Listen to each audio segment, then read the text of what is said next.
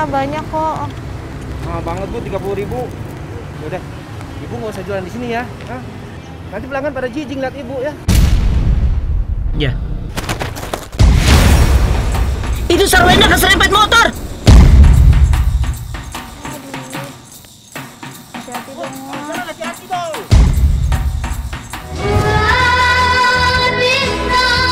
Ayah, kok ini sih ayah? Ayah juga nggak tahu nyo itu kayaknya ke play. Happy happy family, we are happy family. Sayang, mulai hari ini Diary The Onsu bakalan banyak banget loh yang baru. Kayak ini nih, pagi-pagi aja Bunda udah siap-siap lagi make up.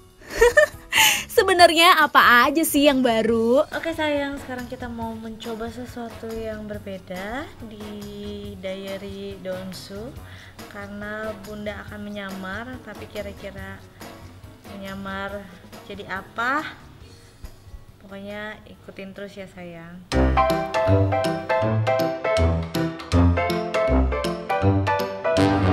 Oke sayang, sekarang aku udah selesai makeupnya, tinggal tadi tambahin touch dikit-dikitnya finishing touch ya. Nah, terus sama sekarang aku ganti baju dulu. Nanti kita mau menyamar apakah Gimana kan sayang? Pokoknya hanya di Diary Donsu sayang, sayang, sayang.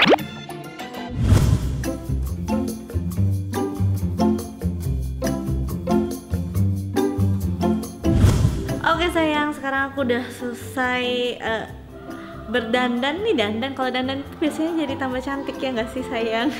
Ini pokoknya sudah selesai, siap-siap melakukan penyamaran dan sebenarnya sayang ini udah pernah aku lakukan pada saat di eh, YouTube aku. Nah, tapi ini kita mau membuat versi Diary Donsu. Oke? Penasaran kayak gimana? Pokoknya tetap di Diary Donsu. Sayang, sayang, sayang.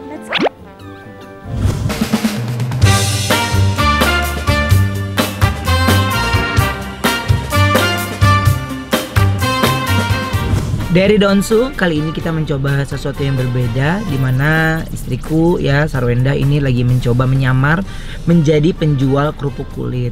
Tapi memang sedikit berbeda karena eh, jualan kerupuk kulitnya di eh, harga yang cukup mahal dan eh, dengan alasan bagaimana kenapa mahal ya karena eh, suami dari eh, ibu penjual kerupuk kulit ini kena PHK. Bagaimana respon orang yang ada di sekitarnya? Apakah ada yang membeli, membantu atau tidak sama sekali? Langsung kita lihat dan saya pantau semuanya dari mobil. Oke.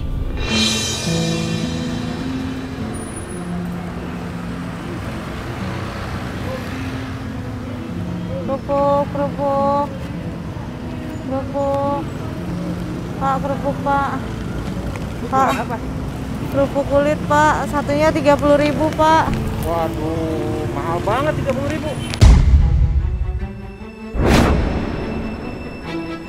Yang saya dengar sih dia bilangnya katanya mahal banget sih. Ya justru itu kita pengen lihat siapa yang memang benar-benar tulus menolong.